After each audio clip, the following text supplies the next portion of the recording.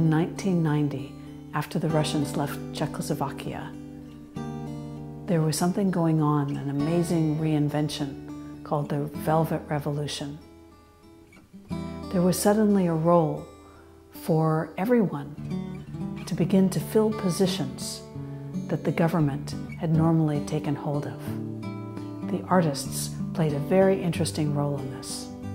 We were invited by a woman named Maya Sands, by Carl Serp, by the Linhart's Foundation to go and present a Art of Ecology with our Institute for Living Arts.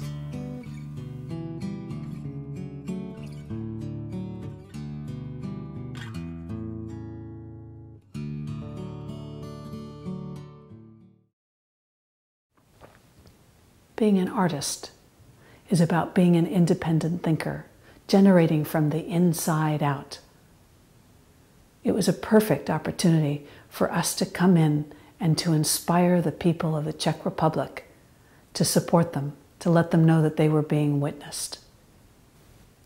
So, with raw materials and paintings and sculptures in hand, we went to Prague. We created a number of sculptures while we were there.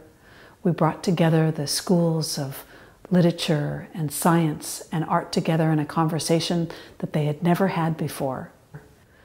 We created a safe place to talk about the right for clean air, clean water, and clean energy. And I believe that the spirit of reinvention is in the air. Can you feel it? This is part of my reinvention as well. I'm an artist, photographer, and videographer, and normally with camera in hand, I'm behind the scenes helping other people show up and shine. Through all the years of growing up, I've frequently been referred to as Pollyanna.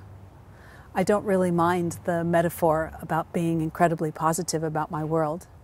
I definitely prefer a positive outlook rather than what I call the grumpy walk. And I think through that framing of the positive eyes is where, when we were in Prague, I came up with the idea of who can say yes.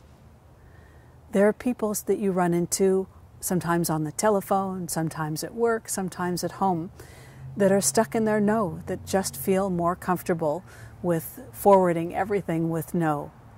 It's important to recognize that, to thank them for their contribution, and then to find out who has the authority to say yes. And it's amazing how well that served us throughout the world. Who can say yes? It's a invitation to find out who's taking on that authority and how to open up doors. It's the power of yes. And I recommend that you give it a try. With all the uncertainty and the chaos and revolution that we experience in the world right now globally, there's this inner churning again, this inner sense of restlessness that I know that I feel and I see all around me.